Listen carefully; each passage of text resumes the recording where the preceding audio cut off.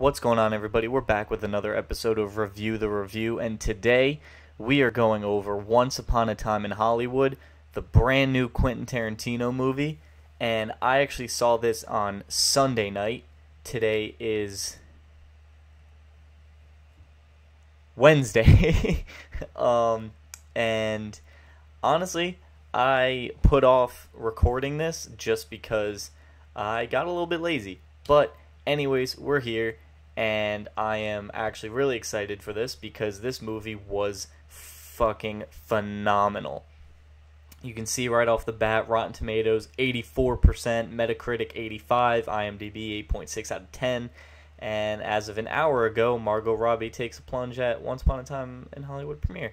But, you know, it's okay.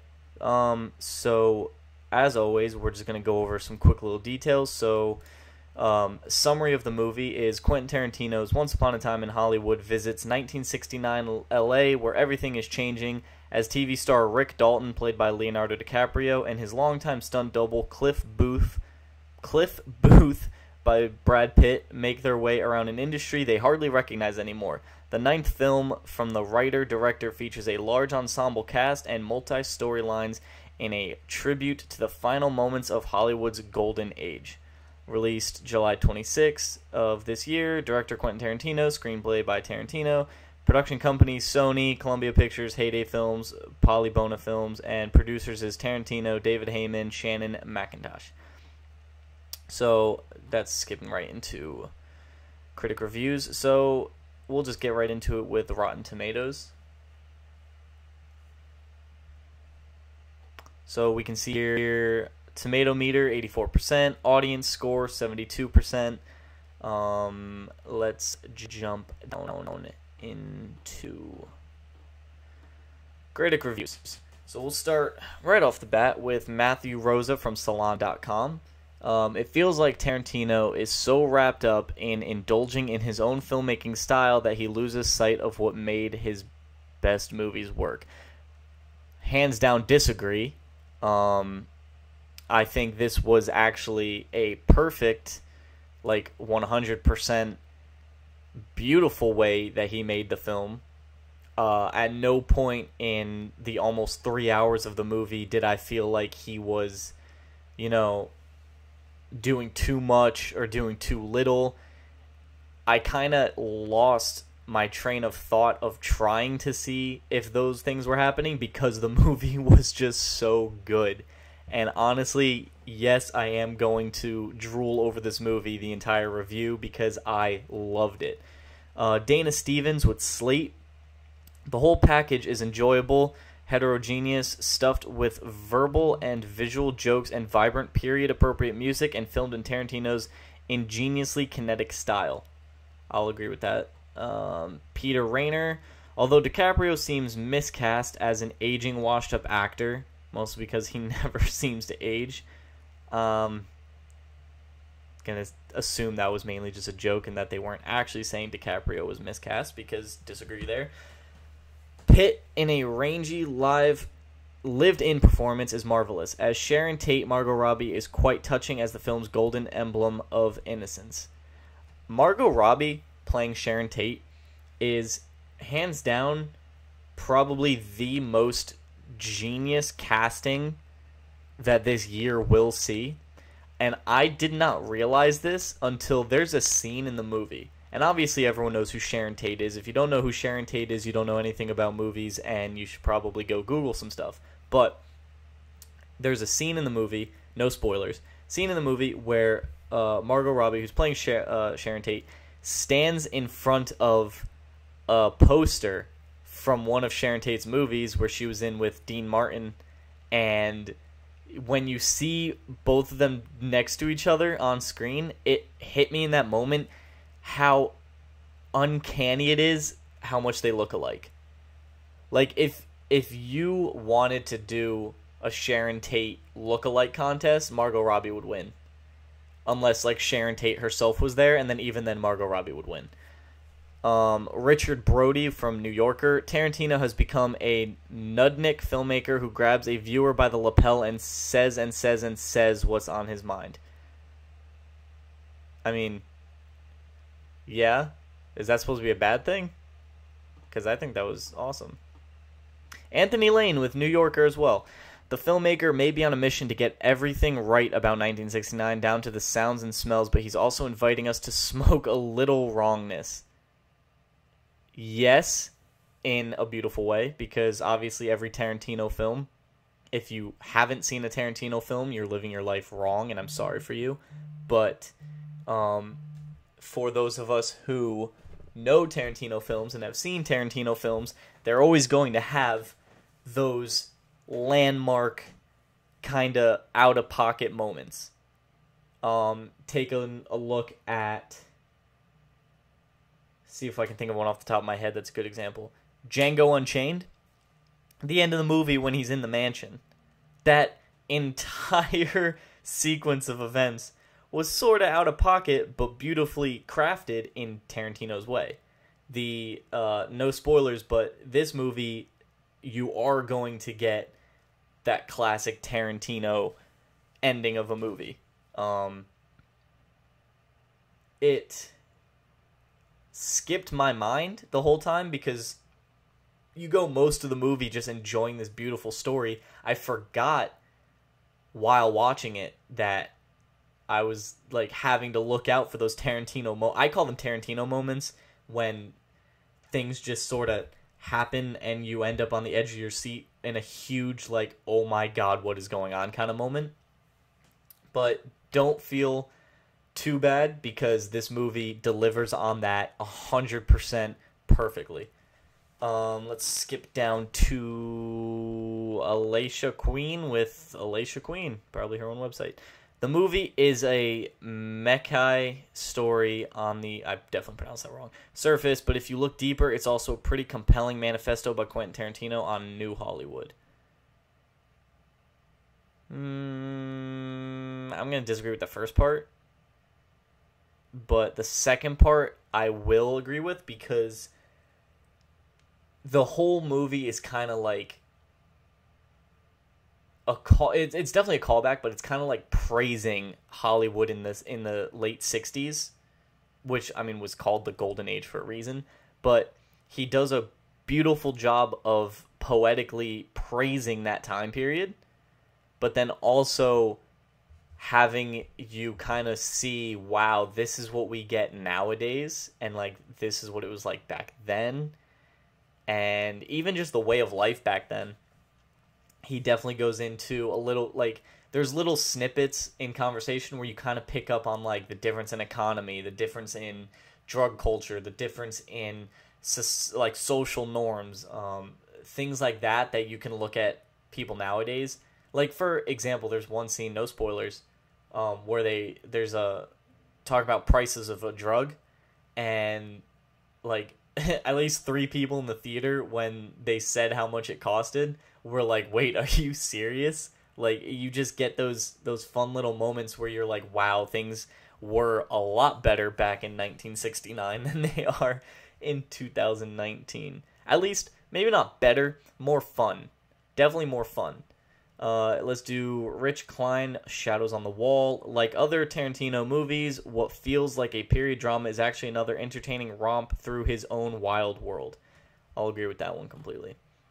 So let's take a quick look at some user reviews.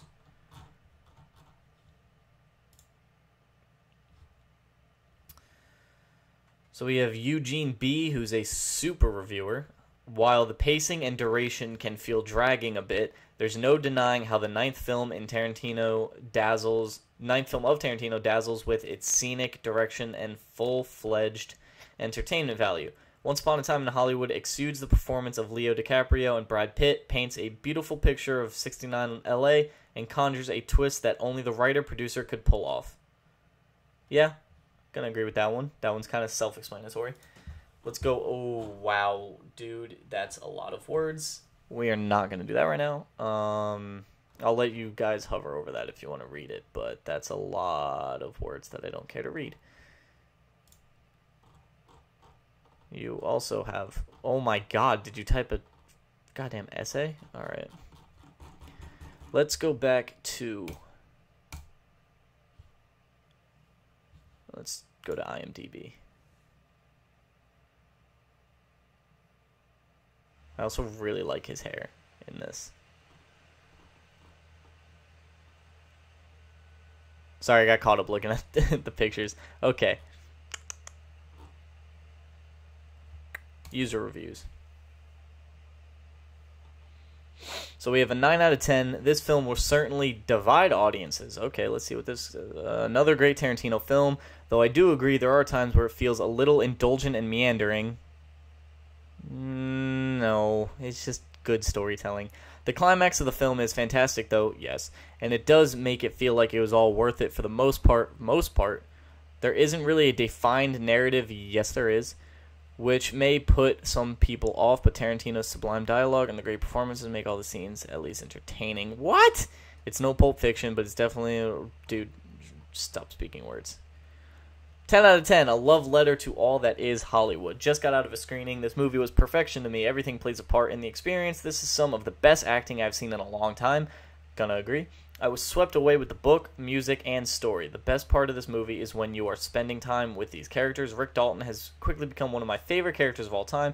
Leo lights the screen on fire every time we are with him. He is the ultimate package in this by giving Rick so much depth. Pitt does an amazing job as well.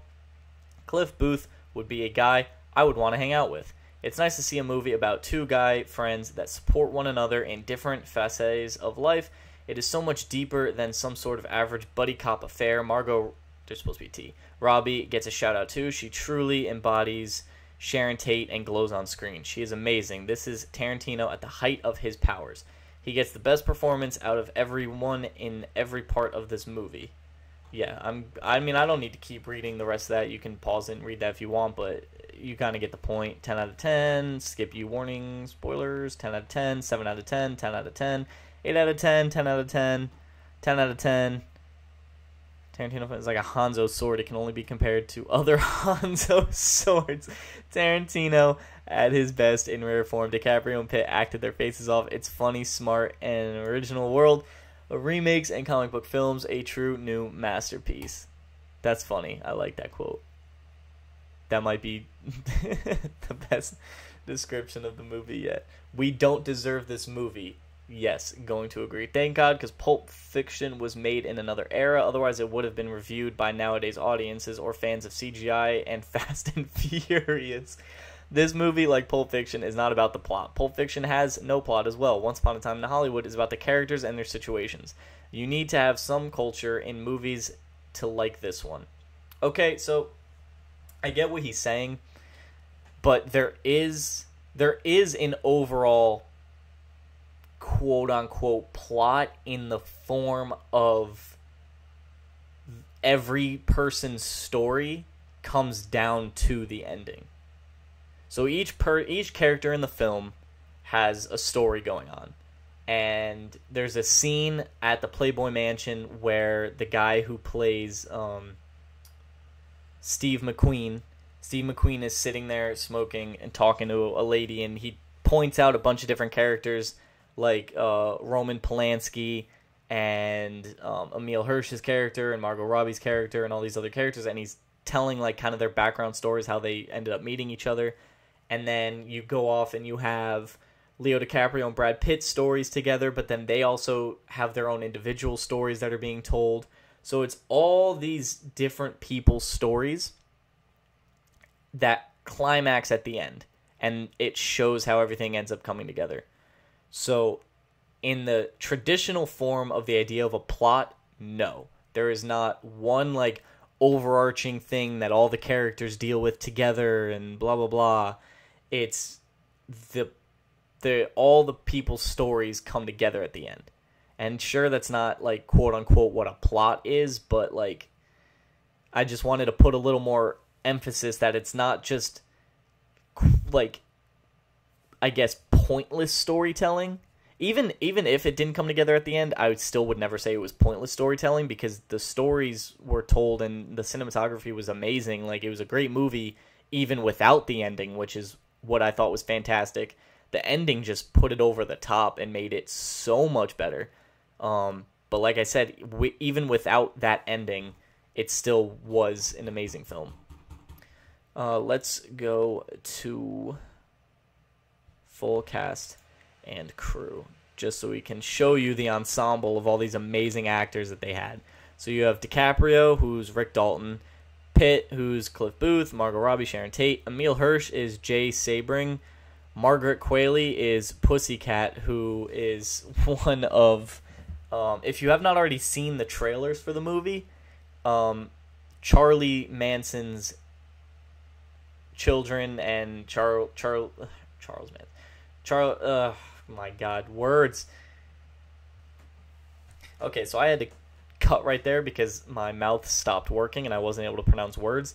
Um, Charles Manson's kids and the whole thing he had going on is in this. So Pussycat is one of those females. Uh, Timothy Olyphant plays James Stacy Julia Butters is a, a little girl who plays a kind of semi important character, but she is a phenomenal child actress. Like I was actually kind of blown away by her performance in the movie, but you know at the same time she had all these amazing actors and actresses helping her out. I mean, I, I at least assume unless she was just naturally that good, which is even more impressive. Um, you got Bruce Dern, uh, some other big names. Al Pacino. I honestly forgot him for a second, which is sad because I'm like one of the world's biggest Al Pacino fans, but I just got so caught up in speaking. Where is my other boy? There was someone else I wanted to point out. Where yeah. Where yeah. I definitely passed it. Kurt Russell. Where you at? I passed it. Oh, here we go. Mike Moh, who plays Bruce Lee. When I tell you, hang on, hang on. When I tell you, the casting for this movie was phenomenal. I mean, the casting for this movie was phenomenal. So this is Mike Moh. This is a picture from the Wrap. This is Mike Moh as Bruce Lee. First of all, yeah, he looks like Bruce Lee. But his the way he talks and his mannerisms is like exactly how Bruce Lee every video you can ever find any interview of Bruce Lee the way he talks the way he sounds the way he acts this was to the T like the best Bruce Lee impersonation you'll probably ever see in your life. Granted they do kind of make Bruce Lee seem like kind of an, an a hole in this movie, which he wasn't unless he actually was, and just not a lot of people know that. But at least from what I've known from Googling and you know, reading interviews and, and all these different things about people who knew Bruce Lee, um, I, I've only ever seen praise about how great of a person he was. So the scene kind of was a little off putting um, simply because of that, but at the base of it, the guy playing Mike Moh playing Bruce Lee was phenomenal. Uh, here's a quick little picture of Charles Manson, which they did get that one pretty accurate too, the way he looks. And he didn't really have that many major um, scenes in the movie, but just enough that you were like, oh my god, like that dude's here. Here's Margot Robbie dressed as Sharon Tate. And you know what? Actually, real quick, we are going to Google Margot Robbie Sharon Tate and try and get a, an idea of what they look like, how how alike they look. Like, hang on, where's a good one? This one, this is a good one. So this is Margot Robbie as Sharon Tate in the movie, and then this is Sharon Tate actually Sharon Tate. Tell me that is not like the same exact person. Like Come on now. Look at this. Look at this. Look at this. It's the same person. the nose is a little different, but like she has kind of a, a smaller nose than uh, at least from that angle it looks like it, but I mean other than that, come on. That's the same person. Like it's uncanny how alike they look. I would I would say that that's a direct clone. Which is probably why Margot Robbie is such a great actress. She's a direct clone of She's an exact replica. Not actually, but oh my god, dude. Come on now. It's it's just insane. The the acting was phenomenal. The movie is phenomenal. Just everything. The the like even the the outfits that they wear. Like this is just one scene, but you just get that feeling like they are living in the 60s. Like and also the whole movie Brad Pitt wears these like really really cool moccasins that are like kind of tied up at the uh, around like the edge of the ankle. Like they just look so freaking cool. But I I don't know, man. There's so much that you can say. Oh, great scene. There's so much that you can say. Oh, here's um this is on the Manson Ranch, Brad Pitt, and then this was Pussycat. Um, don't remember this lady's name, but this is Pussycat. So, like I was saying though, there's just so much about this movie that is over the top fantastic. Honestly, hands down one of the best, if not the best movie you can see all year. And all of 2018 and all of 2017 and all of 2016 and all of 20 and so on and so forth. It is just a fantastic, fantastic movie. Quentin Tarantino, as always, completely hit it out of the park. A hundred percent. So I hope you guys enjoyed, and I hope you go see the movie. Uh, I would hundred percent recommend go see it in theaters just to get that extra vibe of like I mean, you know, thing it's always more powerful when you see a movie in theaters. At least for me. But I hope you guys enjoyed and I will catch you in the next one. Take care.